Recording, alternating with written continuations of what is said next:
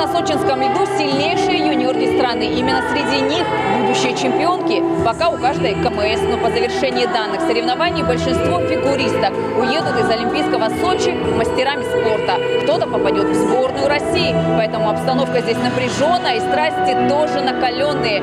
Здесь и сейчас решается судьба юных фигуристок. Фигуристы волнуются, поэтому здесь особо соблюдаются все спортивные приметы. Ксения Юшкова из Вологодской области на удачу перекрестилась и постаралась показать максимум, на что способна. В целом же у девушки большие шансы попасть в финал Кубка России.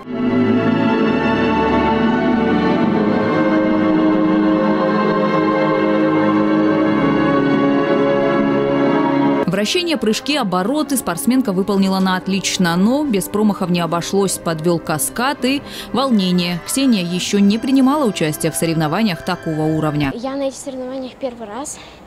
Ксения Юшкова производит Секунду. набирает 63,37 балла.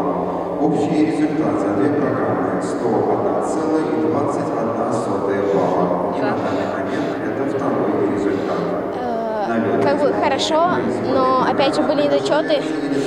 Нужно работать еще. Была на всероссийских, но на всероссийских не было таких людей, как сборная России.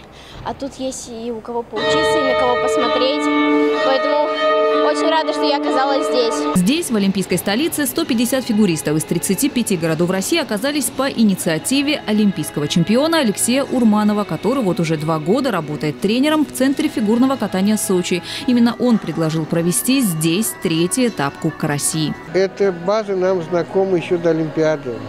Мы здесь проводили перед Олимпиадой пробные первенства, прокат сборной команды. Проводили здесь чемпионат России. Тут все уникально. Из Краснодарского края появляются спортсмены.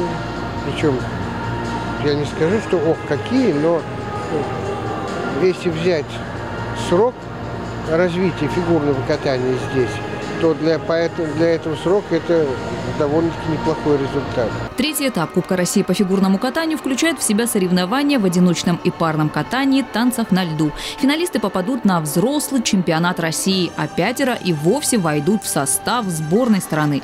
Следующий, предпоследний этап состоится в Казани с 7 по 11 ноября. Инга Габеша, Михаил Дубинин, телекомпания «ФКТ».